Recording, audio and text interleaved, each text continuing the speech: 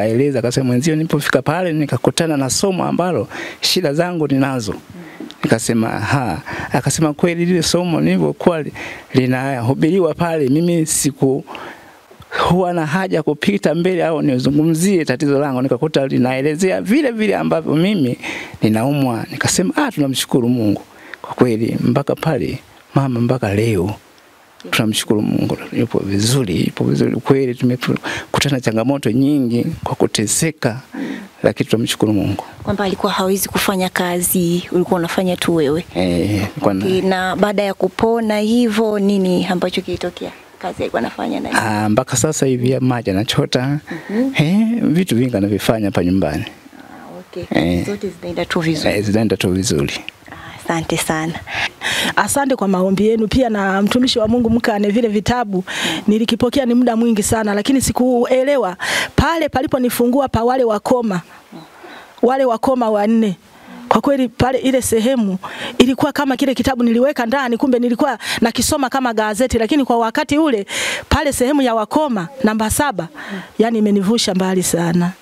Mungu ambariki sana hata mtumishi wa Mungu pamoja na timu yake, awatunze tu. Sina namna, yani sina sadaka ya kusema nitasema nisemeje, ila Mungu awaweke kwa sababu wanafanya kazi ya Mungu. Asante, mimi ni, niseme asante tu, sina namna. Alafu ninapenda niwe na sadaka ya kumshukuru Mungu. Mtumishi wa Mungu mkane alielezea mambo ya siri ya mikono mikono, alisemea mambo ya siri. Nisaidieni hapo, nasahau siri ya nini? Siri ya mikono. Sasa nilikuwa sina kitu cha kutoa, wenzangu walitoa sadaka pale, mimi sina. Nilivyorudi nyumbani, nilimwambia baba, nikasema wenzetu kumbe wanatoa sadaka ya mikono. Zamani wakati tupo duniani walikuwa wanasema wazazi wetu kwamba tutoe sadaka ya, ya nini baba? ya mikono ya mikono. pale wanasema uh, utoe tauli ya mawoho yani kwa wa- waliokufa wale. Kumbe kwa Mungu nako kuna kutoa sadaka ya mikono. Kweli naomba nitoe hiyo sadaka. Ninaomba baba nisaidie. Amina, ni sadaka ya mikono kwa sababu nilivyorudi nikamwelekeza mwenzangu akasema hivi, siku ninayoenda nipeleke. Sasa watumishi wa Mungu mmefika, naomba niwatuishe hii sadaka ya mikono yetu ndani tuwe tunafanikiwa. Amina.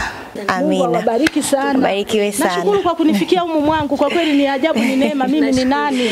Mimi ni nani? Nasema asante. Mungu awabariki. Amina, mbarikiwe sana sana, watumishi wa Mungu wote mbarikiwe, na mkane wote, timu yote huko. Mungu awabariki yani. Amina. Lakini hata sisi pia timu ya ushuhuda timu nzima ya ushuhuda tuna kidogo cha kuwapa, tunaomba mpokee. Yesu, Yesu, Mungu, mimi ni nani? Asante, asante. Mungu awabariki. Sina namna mimi. Baba, hii ni zawadi. Nashukuru. Mungu wetu mwema jamani, anatupenda. Amina. Haleluya. Endelea kutenda mambo ya ajabu, endelea kutenda miujiza, endelea kutenda miujiza. na kukatisha na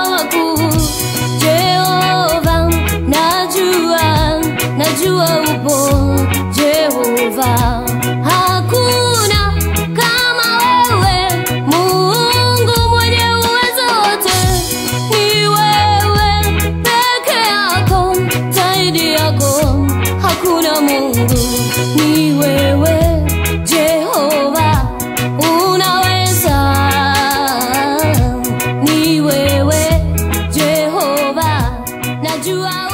ndivyo Mungu anavyozidi kumtumia mtumishi wa Mungu Anthony Mkane. Tumemsikiliza mama yetu baada tu ya kukanyaga viwanja vya nyuma ya TANESCO, akapokea hitaji lake, akafunguliwa kifungo chake, na baada ya mtumishi wa Mungu kupanda mazabauni kuhubiri kichwa cha somo sema nguvu ya mikono. Mama yetu tumemsikiliza akapokea uponyaji, na ile damu iliyokuwa inatoka kwa muda wa mwaka mmoja, hatimaye sasa damu imekauka, sasa ni mzima.